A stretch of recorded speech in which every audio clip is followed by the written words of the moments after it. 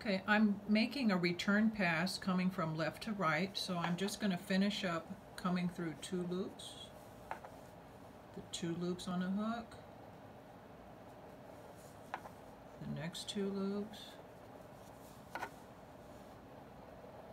all the way back to the right.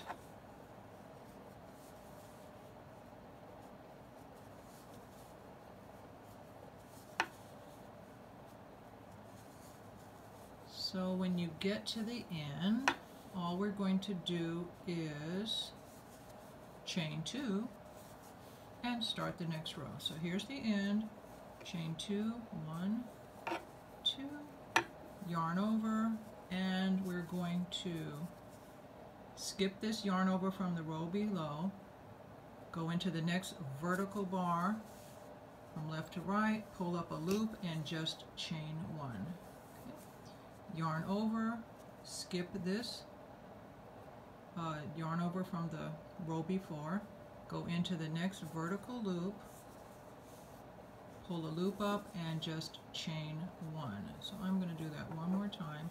Skip this loop, go into the next vertical bar, bring up a loop and then just chain one. So you're going to do that across and the next video will show what happens on the left side to make the return pass.